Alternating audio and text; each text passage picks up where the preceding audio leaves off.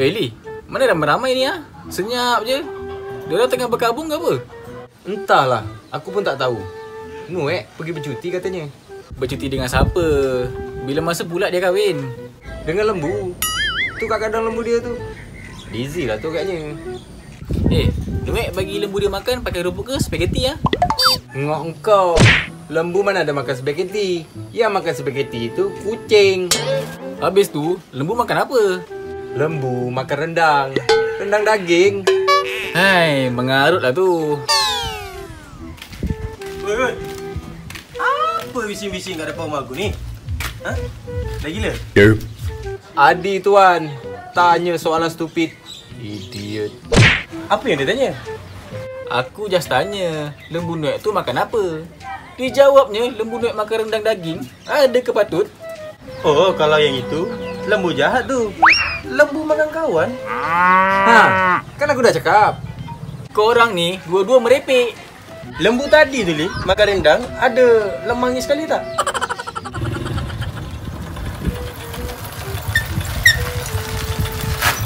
Oh, oh. Tiga orang je ni. Tiga orang je lah. Takkan tiga ekor lembu pula. Engkau ni. LOL! Tengok muka kau tiga orang ni. Ada sikit macam lembu lah. Kau cakap orang lembu. Kau tengok rambut kau tu dah. Dah macam ekor kuda kau tengok. Mungkin kepala jam tu buntut kuda. Maknanya jam, kau ni berak ikut kepala ke apa? Bila cakap pasal berak, teringat aku dengan Ciko. Sebab dia makan tak ayam minggu lepas kan? Patutlah kaki dia kecil macam ayam. Kan? Tak balance nanti tu. Kaki besar, badan kecil. Itu balik. tak balance nanti tu. Badan besar, kaki kecil. Abang pun badan kurus kering macam jerangkung. dah macam tengkorak hidup aku tengok dah. Kau masa naik motor, tak terbang kali. Kena tiup angin. Kalau aku, mungkin terbang. DJ, mungkin tak. Sebab badan dia besar macam pelampung. DJ tu kalau bot karam kat laut, mesti diselamatkan.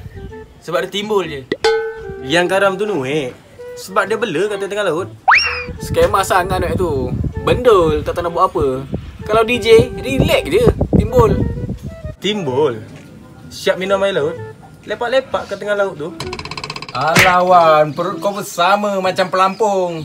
Cakap orang. Bukanlah bang, perut Iwan ni dah macam tayar terpakai. Yang dah pancit. Maknanya, Iwan ni ibarat tayar lori terbuang lah. Eh Wan, nanti minta sikit perut kau tu. Aku nak tampal tayar C70 aku lah. Ewah, ewah Hadi. Kemain kau cakap. Kau tu, kulit rentung kenapa? Adi kan jual kambing gulik. Mungkin masih dia bakar kambing tu. Dia terbakar kulitnya sekali. Tu yang aku confuse tadi. Adi ni manusia ke? Orang minyak? Ewah-ewah kau orang. Nak kutuk aku pula eh. Amboi kau.